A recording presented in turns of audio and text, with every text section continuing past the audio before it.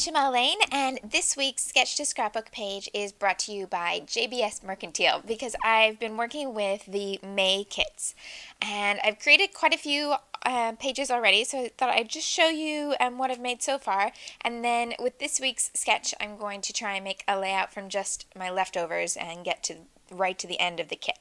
So um, here's what I started. This is um, almost entirely just the main kit. The only thing that's not from the main kit are those two little letters right there. And here, most things are from the main kit, but I did add um, letters and labels uh, and these little buttons from the dime store kit. And this one is mostly the main kit with a tiny little bit of the mini book kit thrown in. So these screen printed uh, words are something that we did in the mini kit and um, this title block here has lots of things from the mini kit but this uh, cardstock and the butterfly pattern paper that's from the main kit. The, the mini book kit is still, um, the mini book kit is sold out, but the main kit is still available. Possibly the dime store kit, I'm not quite sure as this goes um, live.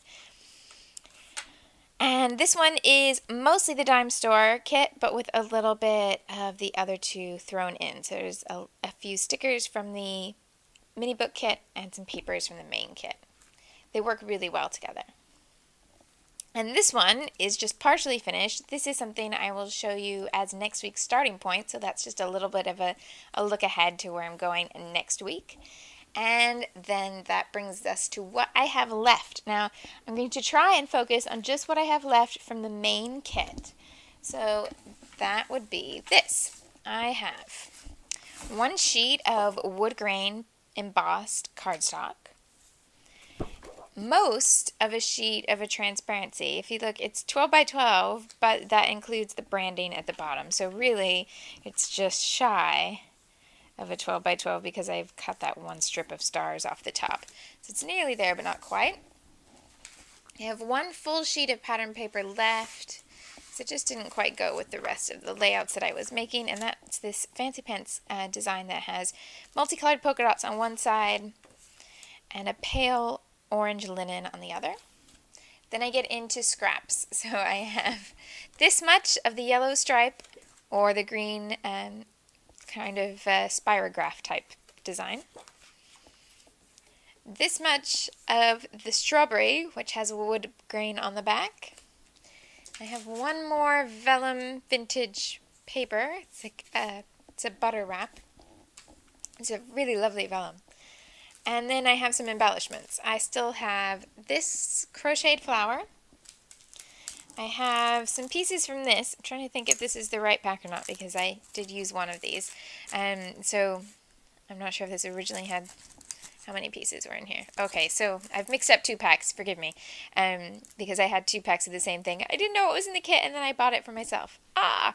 Um, so I've already used a couple of these on the other layouts, but I have them here. So those are wood um, pennants and tickets from Prima.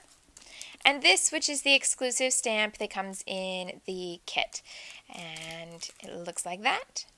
Now, I'm going to try to stick just to this, but I have something on deck as a bit of an emergency, and that's these. And this pack of the vintage sew-on buttons came in the dime store kit.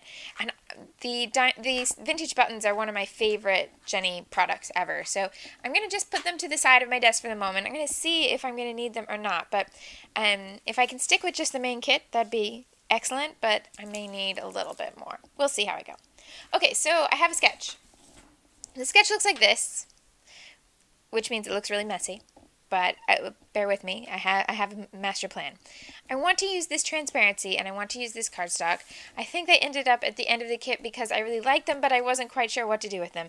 And so I came up with a sketch that would let them work. And what I'm going to do is make a two-sided page. It's going to be half transparency and half cardstock.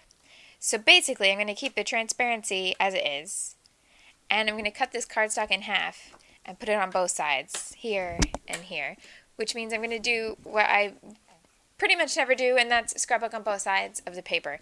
But with a transparency, basically that's your only option if you want it to remain transparent in the album, is you need to be able to, to do something with the other side.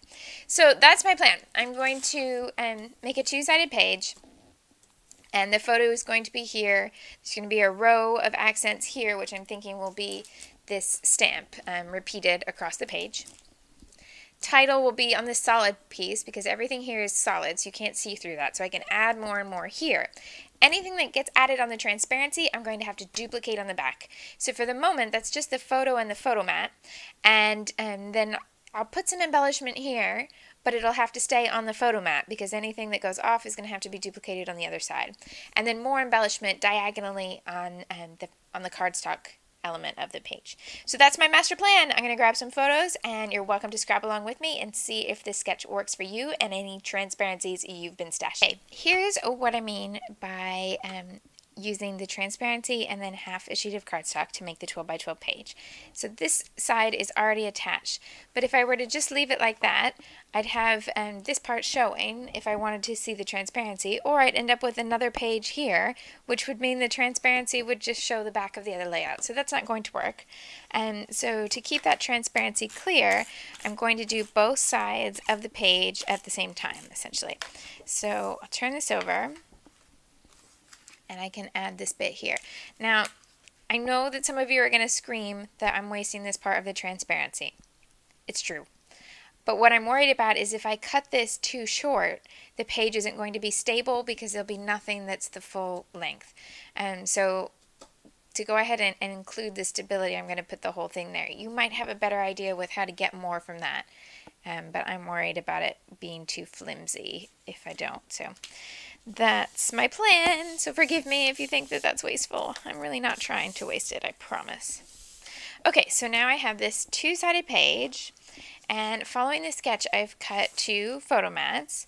And so that means that if I use this as the um, following the sketch on the first side, then when I come back to the other side, I'm just going to put it in exactly the same place so the sketch will be mirrored on the back. Now, what I've done to choose photos so that I know these two are always going to go together in my album is to choose two photos um, from the same trip, the same day, but two different stories. And they are both just single photos. So one of these two guys, which um, if you can't tell from there, this guy is completely head to toe covered in eggs because he was um, raising money for charity by letting himself get pummeled with eggs, as you do. And then this one, which is a picture of a cinema, which has a funny little story to go along with it, on this side. And then I'll carry on from there. I hope that makes sense. Okay, so I'm going to do one side. And I know that I want to add this here like in the sketch, but I need to add that border. And for that, I'm going to use the stamp and um, some brown ink and I think for this side, I'm going to use the yellow. And then I'll cut out a few of these to create that little border. I realized in the scraps that I could stamp it on a few different colors of paper and have that little bit of color through the middle of the layout. So I decided to go with that option. So I'm just going to start adhering these and I want to leave just a tiny little border at the top and I want the pieces to go off the edge so it's as if it were part of a continual, um, continual border. And then I'll just use the photo mat to see where it's going to cover so that I don't have to waste much. see if that's going to work with the extra. That should be just about right. So just fill these in. And then this little space at the end should be the right size for this little extra piece to fit there. So just turn this over, cut off the extra.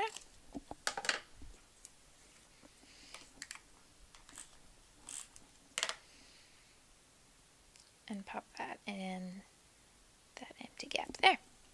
I want to add another layer here, and I have one paper that still has the 12 inch width, and I have both polka dots and the orange available there.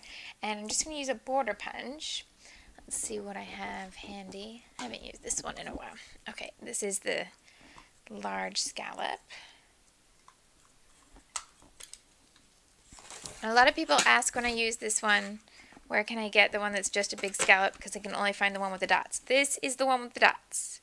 And it's just that I don't push very hard, so I don't get the dots on the um, finished design. So that's easy enough. If you're looking and you find the one with the dots, you've got the right one. So I'm just going to stick that in place, then add the photo mat and the photo, and I'll be ready to start with the embellishment.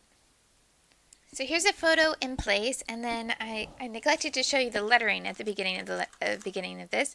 Um, this came with a wooden uh, alphabet in the kit from Pink Paisley, and I've already used it on several titles. So I um, I have no E's, I have no N's. Um, yeah, and uh, Glitter Girl was asked some similar questions about that this week. Um, so here's another idea with that. In the end, I didn't have any I's, I didn't have um, any N's, but I managed to get this word, which seemed to be the only egg pun I could spell. Um, so I'm thinking I'll add uh, sub uh, some smaller lettering up here to lead into this. But this is truly Z, and the I is a J that I cut the tail off of.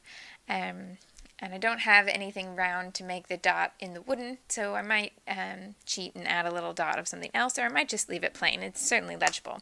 So um, these are really lightweight, so you can just use normal adhesive, and I'm going to um, have the tops touch that border except for the I which is shorter. And that should keep them in a nice little line I went ahead and added my journaling at this point so that I'll still have room to put in the embellishment. And what I've done is taken that pack of the Primas and looked at the words and divided them into two different sets. So each one will have one pennant and two tickets, and the wording works better for each side. So these two, these three pieces will go with the other photo, and these three here. So what I'm thinking is that because there's length here in the the size of the writing, that that can be mimicked with this shape here. And then I'll take this one and add it up a little bit higher so that it's linking the embellishment and the writing to the photo so everything's touching.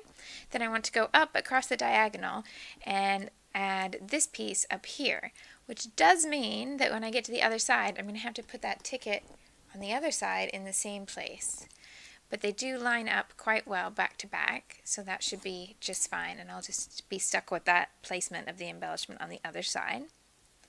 Um, but that's where everything's going to go. And that will have me pretty much done on this side, and so I can start going ahead and adding things to the other side um, to make sure everything works. Things just a little bit different. I decided I would add that piece of vellum right underneath the photo, and I've gone ahead and matched up the photo mat and the embellishment.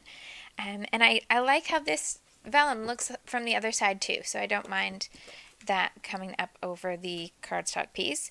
I wanted to add, I'm not going to do the stamped border this time, I'm just going to do the punch, um, but this is the only length I have of the green uh, left, so I'm just going to see if I can stretch it enough to go all the way across. Yep, okay, so then I can just tuck this under I like the idea of it going right underneath that vellum because you'll still be able to see it. A few little scraps. So I thought I might, I just cut them into nice tidier boxes because they were all kind of off-cut um, odd shapes. And I thought I would layer them up and add them over to the side. And then I could add in the pennant and the extra ticket here somewhere.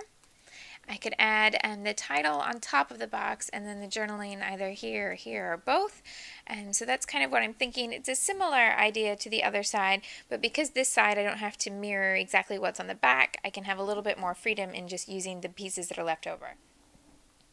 Here's my finished version of this side, and I just kept it really simple. The title and the embellishment here, a bit more writing in the corner, and then added some mist in both those areas so um, that it would balance the plainer top of the page since I can't add any more embellishment up here. So that's where I've gone with this somewhat messy sketch, which I'll tidy up for you on the blog. And from that, using the transparency, became two pages, one either side. And you could you can use a transparency and do that same idea of two uh, two sides to the layout or you can stick with solid papers that you can't see through and then you'd be able to do one side of the page and have a bit more freedom of what you wanted to add at the top. I'd love to see what you do with this sketch and I look forward to seeing what you share. Thanks so much for watching.